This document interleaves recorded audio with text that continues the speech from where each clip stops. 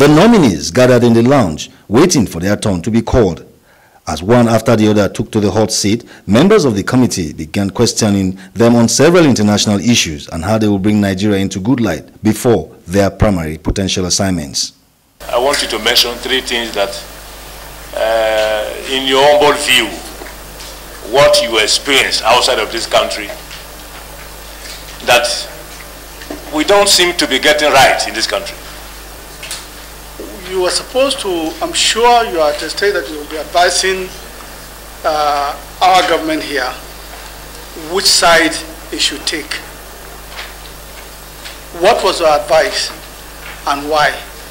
Former President Obasanjo was based on the advice we gave that they should send seasoned, experienced former heads of state who were actually close to former President Abdoulaye Wade. More questions from the members for the nominees included advice to government on issues like the Senegalese political problem and their plans for women development. As, uh, as an officer in charge of women and children,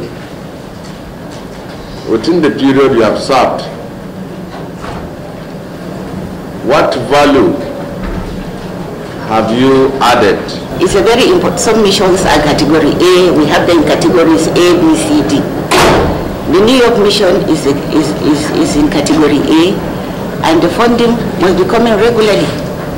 If there is no funding, there is no way missions can, uh, can, can, can function properly. There was, however, a nominee that was asked to take a bow and go, despite fumbling when asked to recite the national pledge. Your please is a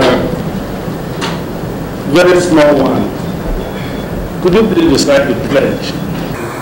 The pledge.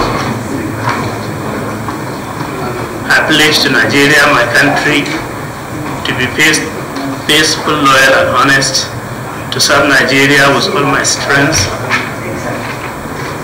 to retain her unity and uphold her glory, so help me God.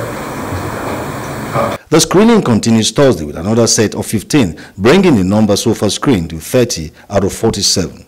Jamila Fegwa, Core TV News, Abuja.